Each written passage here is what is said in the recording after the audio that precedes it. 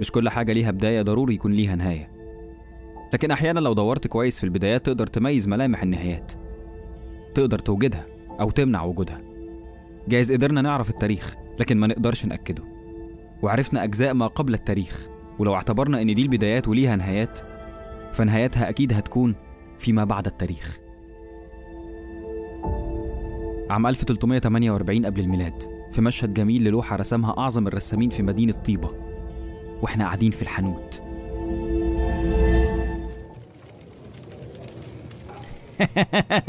هتفضل هاوي كده في لعبة السنتي دي لحد إمتى يا محب؟ لحد ما تبطل تتكلم أكتر ما بتلعب. طب بص الحركة دي. امم غشيم. أهو أنت كده فتحت لي سكة أتحرك بالحصان هنا مثلا. إيه ده إيه ده إيه ده؟ وأنا كلامي ضايقك ولا إيه؟ يا راجل أنا بهزر معاك. طب ما تنسى الهزار وتلعب بجد شوية. يا ابني اللعبة دي مش للهواية بس. دي مهمة جدا في الاستراتيجية وبناء الخطط كمان. استنى بس سيبك من الكلام الكبير اللي أنا ما بفهمش منه حاجة ده. يا باي هات لنا كمان اتنين بوظة مش تخف البوظة شوية يا سنفرو؟ إحنا كده مش هنعرف نروحك البيت. مين ده اللي مش هيعرف يرجع بيته؟ ده أنا أشرب بوزة قدك عشر مرات وأرقص لحد ما يتقطع حيلي ولا يهمني. تفكرني زيك ولا إيه؟ لو بس دماغك قد لسانك كان زمانك حاجة أهم من كده. قصدك إيه؟ قصدك إن أنا مش مهم؟ وانت مين يعرفك غيري يا سنفرو؟ باي خادم الحانوت عارفني وباماي كمان عارفاني باماي بنت باي الخادم وتعرفك علشان بتشتغل هنا مع أبوها ها مين تاني؟ انت مش قلت لي مين عارفك؟ اديني بوريك إن أنا معروف وإن أنا مش أي حد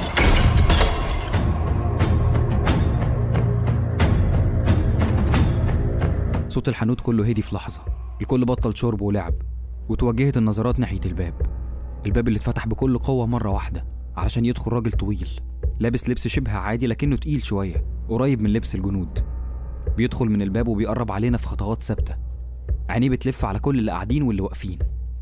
وبيتحرك في اتجاه باي خادم الحانوت. وقف مكانه وحط ايديه على حاجز الجرانيت اللي قدام باي.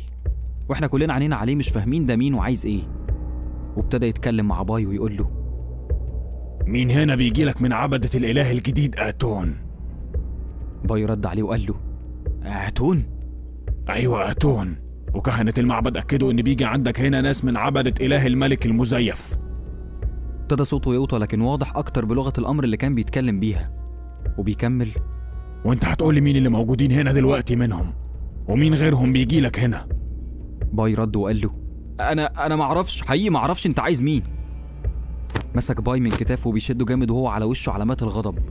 وبيقول له يعني انت مصر تكذب علشان تداري على شوية كدابين وكفار زي دول. كان لازم أتكلم. وأنت مين بقى اللي ادالك الحق تقول عليهم كده؟ سنفرو رد بصوت واطي. اسكت يا محب، اسكت ملناش دعوة. الراجل الغريب ساب باي من ايديه وهو باصص عليا. وقال لي وأكيد اللي بيتكلم ده واحد منهم مش كده؟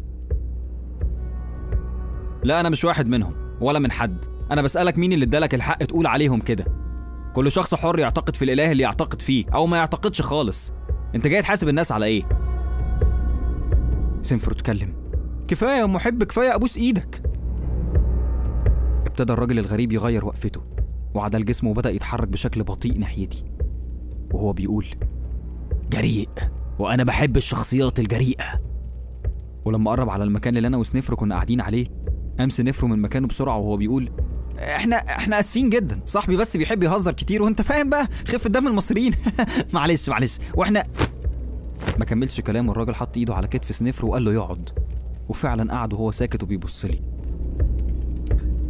لكن للأسف الناس الجريئة عمرهم قصير مش بيحسبوها كويس قبل ما ياخدوا خطوة أو يقولوا كلمة. بيغلطوا كتير. وحط ايده على الترابيزة الجرانيت وهو باصص في عيني جدا. وغلطاتهم بتكون غبية. ما لقيتش مني رد فعل غير إني أقوم أقف. ورغم جسمي وطولي اللي مش مناسبين مقارنة باللي قدامي لكن مفيش حد يشوف نفسه بيتهدد بالشكل ده ويسكت. وقفت وسندت على الترابيزة زي ما هو عامل. بصيت له في عينيه ولقيتني بقول له خد بعضك واخرج من هنا. ده مش بس جريء ومضحك يا جماعة كمان. ولو ما خرجتش بقى هتعمل إيه؟ وحط ايده الاتنين على كتفي. بقول لك اخرج من هنا. وزقيت ايديه الاتنين من عليا وزقيته هو كمان في صدره. رجع لورا وعينيه الاتنين مبرقين وكلهم كره وغضب. وبسرعة ما كنتش متوقعها في وقتها استقبلت ايده في وشي. وجه ليا لكمة قوية جدا. من شدتها ما حسيتش إلا وأنا واقع على الأرض وماسك فكي. لفيت وشي علشان ألاقي سنفرو متعلق في رقبة الراجل ده من ورا وعمال يضربه بكوباية البوظ على دماغه. بتضرب صاحبي يا حيوان. خد خد دي كمان. وعلى ما فقت واستوعبت كان الغريب نزل سنفرو من على رقبته وماسكه قدامه وهو واقف على الأرض. يا أخي أنت زعلت؟ أنا كنت بهزر معاك. مش بقولك خفة دم المصريين. هنعمل إيه بقى؟ الراجل وجه له لكمة قوية جدا طيرت سنفرو وجابته واقع جنبي. حط إيده على وشه وبص جنبه. آه آه يا وشي. أنت فايق يا محب؟ فايق وما هربتش ليه؟ ما هربتش ليه أنت؟ لفينا وشنا للراجل لقيناه ماشي ناحيتنا. لقيت سنفرو مسك فيا. صلي صلاة أتون بسرعة. زقيت إيده من عليا وجمعت شتات نفسي وقمت. وقفت قدامه. وفي اللحظة اللي كان بيوجه لي لكمة تانية كنت مستعد المرة دي. تفاديتها بسرعة في نفس الوقت اللي كانت في إيدي التانية رايحة بشدة عليه. بعزم ما عندي كله في وشه. وجهت له لكمة قوية جدا. قوية لدرجة إنه في الوقت اللي كان بيرجع فيه لورا وهو شبه واقع وبيستوعب الصدمة أنا عمال أهز إيدي مش قادر من وجع إيدي بعدها. قام سنفرو من مكانه وراح على ترابيزة شرب بق من كوباية بوظة ورمى الكوباية على الراجل علشان تيجي في راسه. طلع يجري ناحية سنفرو واللي صرخ فجأة وفلت منه قبل ما يمسكه. وابتدت أخيرا الناس تتحرك وتحاول تمنع الراجل ده عن الوصول لسنفرو أو ليا. وابتدوا يزقوه لحد ما الراجل ده ضرب واحد فيهم. وكأنها كانت الإشارة علشان الكل يتلم عليه ويضرب فيه. قعد يحاول يضرب فيهم واحد ورا التاني لكن الكترة دايما بتغلب الشجاعة لحد ما استسلم وفلت من وسطيهم. رجع ناحية الباب وهو بيقول كفار! كفار وجبنة! اللي عملتوه ده هتدفعوا ثمنه غالي غالي قوي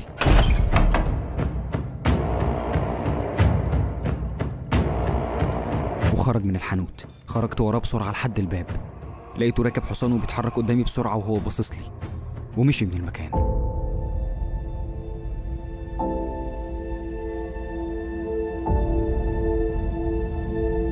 اعتذرت لباي على الحاجة اللي اتكسرت. طبعا ما قبلش اعتذاري لأن اللي حصل أكيد مش ذنبي. بل وبالعكس شكرني إني دافعت عنه. وأخدت سنفر وخرجنا علشان نروح بيوتنا. وصلته بيته من كتر التعب بعد الضرب اللي أكلناه. هو دخل بيته ينام وأنا رجعت بيتي اللي قريب منه. ونمت. نمت مش فاكر إمتى لكن اللي فاكره إني فتحت عيني على صوت زعيق عالي جاي من مكان قريب. فتحت عيني وأنا مخضوض وكانت الدنيا ليل. خرجت من البيت ببص فيه إيه واللي بيحصل ده فين. لمحت دخان كثيف جدا بيجي من الناحية الشرقية. خرجت واتجهت بسرعة في اتجاه الحادث اللي أكيد كان حريق. ابتديت أقرب لحد ما عرفت مكان الحادث من قبل ما أوصل. دي دي كانت الحانة. وصلت هناك لقيت سنفرو موجود. ماسك في الخادم باي بيشده هو واتنين كمان. عمالين يشدوه وهو عايز يجري على الحانة اللي النار مشتعلة في كل مكان فيها وبشكل مخيف جدا. ولقيت باي عمال يصرخ. باماي باماي بنتي! لا! في إيه يا سنفرو باماي باماي كانت جوه في الحانة قبل ما تمسك فيها النار كلها وما لحقتش تخرج. ابتديت أمسك الخادم باي معاهم وأشد وأنا بقول له. أنا آسف آسف لكن مفيش حاجة نقدر نعملها. وباي عمال يصرخ ويبكي. باماي لا. لا. لا يا باماي لا.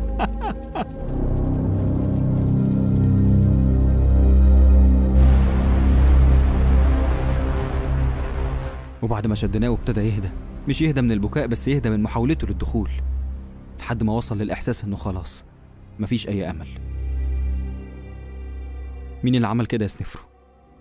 معرفش يا محب لكن أيا كان اللي عمل كده في باماي وفي الحانة لازم لازم يتحاسب.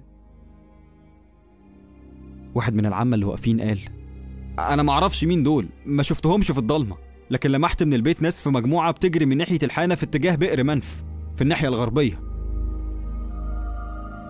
بئر منف؟ سنفرو هات أي سلاح عصاية من خشب قوي أي حاجة من البيت وتعالى معايا. وأنتم أي حد قادر يشيل سلاح مش قاتل يجيبه ويجي ورايا. اللي عمل كده لازم يتجاب لأننا لو سكتنا هيعمل كده في كل واحد فيكم وفي بيوتكم وأهاليكم. مين معايا؟ العامة كلهم قالوا في صوت واحد كلنا معاك. معاك يا محب. وأنا معاك. وكان منهم الخادم باي. طلبت منه إنه يفضل هنا وبلاش يكون معانا في الحالة دي. لكنه أصر إنه ياخد حقه من اللي قتل بنته ويكون موجود بنفسه فما قدرتش أمنعه. طلبت منهم يمسكوا عمدان نار في الطريق واتجهنا كلنا مع بعض حوالي 20 فرد ناحية بئر منف. وطلبت إننا نكون هاديين وما نتكلمش أو نطلع صوت وإحنا رايحين. وفعلا ده اللي حصل. كلنا كده كده من هول اللي شفناه ما كانش في حد عنده حاجة يقولها. وصلنا هناك. لقينا قريب من البئر في نار حطب مولعة. حواليها واقفين حوالي عشر أشخاص. وجنبهم خيمة واسعة. أمرتهم يتحركوا ورايا من غير صوت.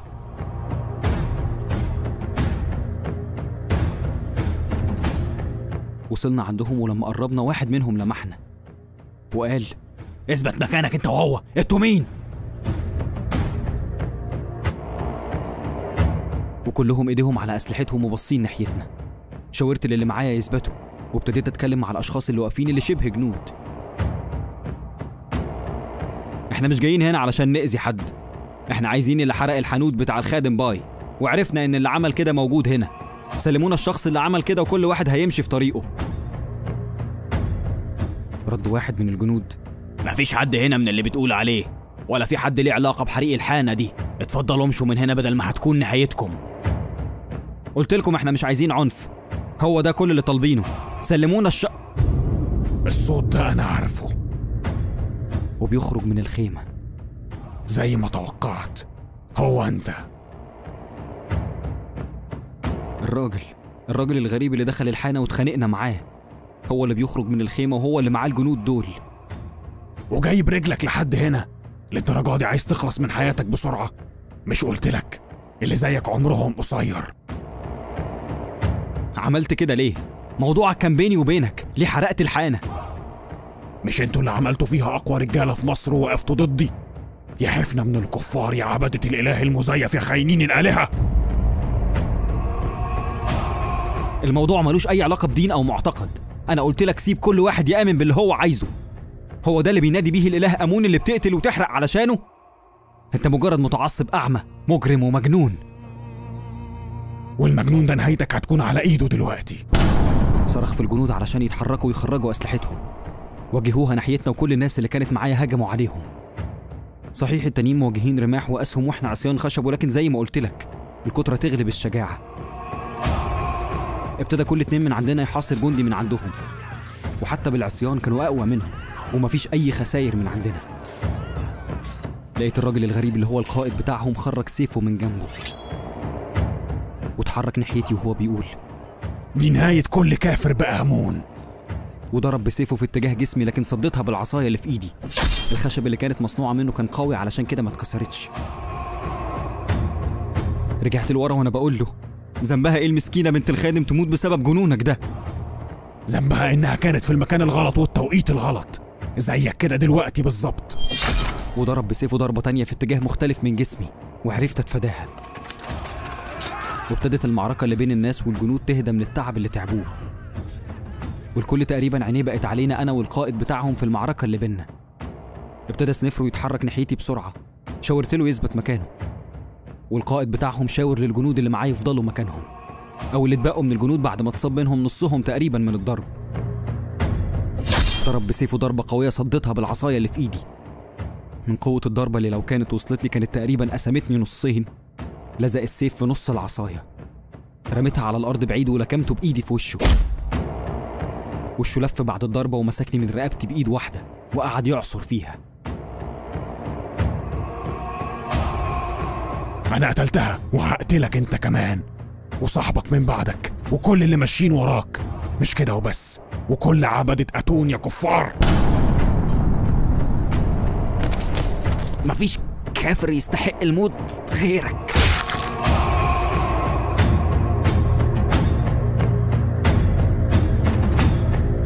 الخنجر. الخنجر اللي على طول مخبيه في ظهري. ما كانش فيه حل تاني. غرسته في بطنه لكن كانت لسه الضربة سطحية مش عميقة. إيده خفت على رقبتي وهو مبرق. أنت.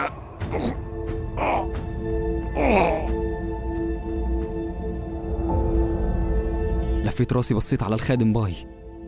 لقيت عينيه كلها غضب وهو بيبص له وبيبص لي وشاور لي بالموافقة.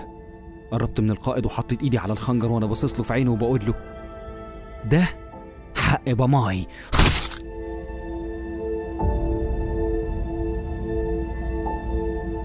وقع على الأرض في مكانه وعلى وشه نفس نظرة الخضة والرعب. وباقي الجنود اللي مصاب منهم واللي واقف باصص عليا مستني مني أي فعل. زي ما قلت لكم إحنا جينا هنا علشان ناخد حق الراجل ده وبنته اللي ماتت من غير ذنب. أنا عارف إن أنتوا كمان مالكمش ذنب في حاجة وإن اللي أمر بكل حاجة خلاص مش موجود زي ما أنتوا شايفين. تقدروا تمشوا ارجعوا بيوتكم ومش عايز أشوف حد منكم في المكان ده تاني. يلا! وفعلا نصهم ابتدى يقوم النص التاني اللي واقعين مصابين معاه وطلعوا يهربوا من المكان.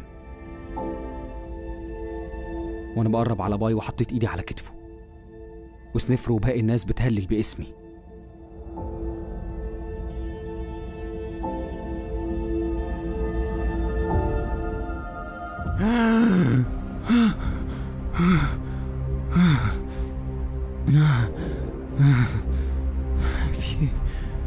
أنا فين؟ أنا فين؟